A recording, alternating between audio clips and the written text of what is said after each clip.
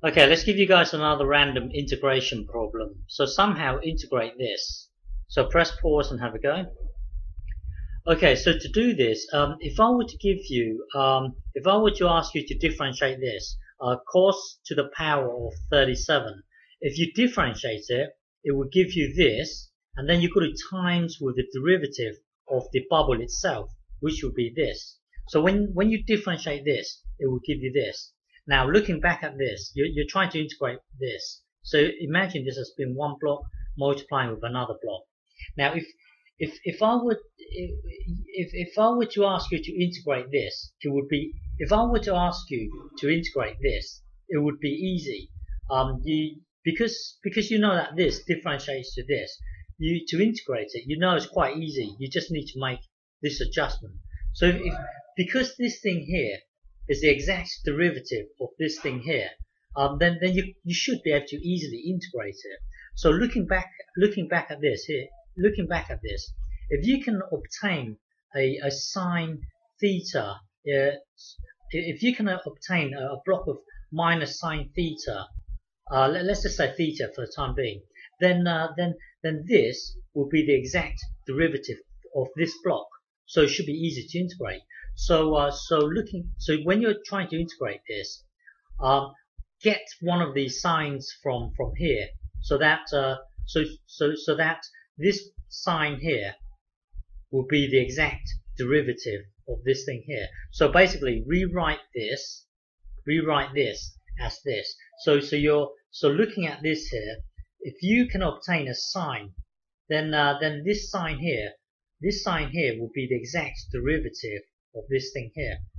So so uh, so here you've got to the power of three. So so here to the power of one, uh, to the power of two, to the power of one. So basically, um, get one of the sines from here and then put it over here.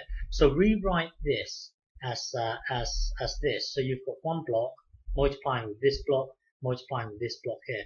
Notice that this is exact, almost the exact derivative of this. So so later it should be easy to integrate this. Um, so so now you, you still need a, a minus in, in this thing here because the the because look at this you need a minus here. So this block here you need a minus. So from here rewrite this block as uh, as this as minus sine, but then you've got a minus here. So in effect these two will cancel out. So from here that will then take you to here. So notice that this block here is now this block here is now the exact derivative of this. So so when you are here, hang on, uh, because because this because this is the exact derivative of this block. Um, if, if if you were to do this, if you were to say let uh, u equals cos theta, then uh, then du equals minus sine theta d theta. Uh, so so d theta equals du over minus sine theta. Now just ignore this for the time being. If, if this here should be easy to integrate, if you put if you put this into here and then and then and then later this this minus sign here will cancel out with this. The point I'm trying to make here is that imagine this wasn't here. This thing here, because because this because this is the exact derivative of this, it should be easy to integrate. But the, the thing is, you've still got this annoying sine lingering around because if you were to make this substitution, cos theta, um, but but you can't make the, the substitution here because this is a sine. If um, you, because it's cos here, you're trying to make the substitution cos. This is a sine. Um, the rest, the rest is okay. The rest is good. It's just this thing here is annoying. So uh, so replace this with um, with this 1 minus cos uh, cos squared theta. So now you can put the u into here, uh, and then so so this would be u squared.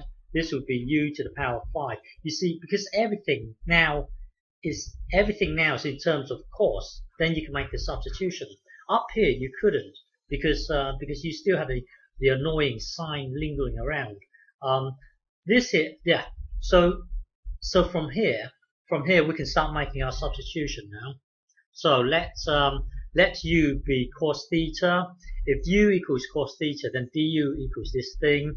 Uh, divide both sides by minus sine. So so um, d theta equals this thing here. So now we can put this into here. That will give us u squared.